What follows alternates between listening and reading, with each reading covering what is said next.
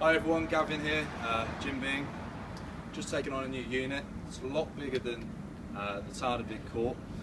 A lot of people have said over the last year that the current shop's uh, fairly small, so we've got a bigger shop. A lot of customers have asked about changing room facility, so we're putting that in. Uh, a lot of customers have asked about simple things like mirrors, so we've got a big mirror coming in. Uh, also, um, people have been asking about sampling the product, so we're putting a protein shaker bar into the new place. We've also had a lot of clients come in, uh, new PT clients as much as uh, customers for the brand. Also been asking about hints and tips about fitness and so forth. So we're fitting a new personal training studio on site as well. So this red brick building here, this is the whole studio and GymBeing superstore. Come on in. Down here we're going to have some new signage all the way across. Getting the signage in over the next few weeks. Come into the store. We're fully decorating at the moment, as you can see. Uh, we're just about to put uh, wooden flooring in. We're fitting in a, a new toilet and uh, sinking at the back. Also a full uh, changing room facility with mirror at the back.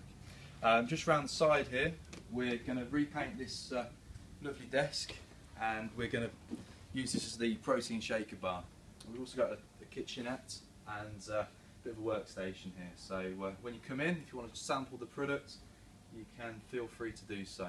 So again, coming back to the back of the room, at the back here, uh, we've got a nice big mirror.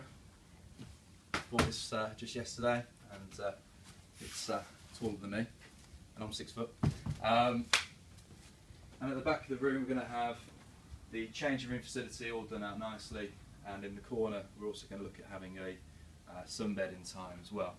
Next year, uh, we're also going to look at the likes of selling protein meats and different types of food alternative pro products and expect to see over 50 of the best brands on the UK market today in store at this outlet.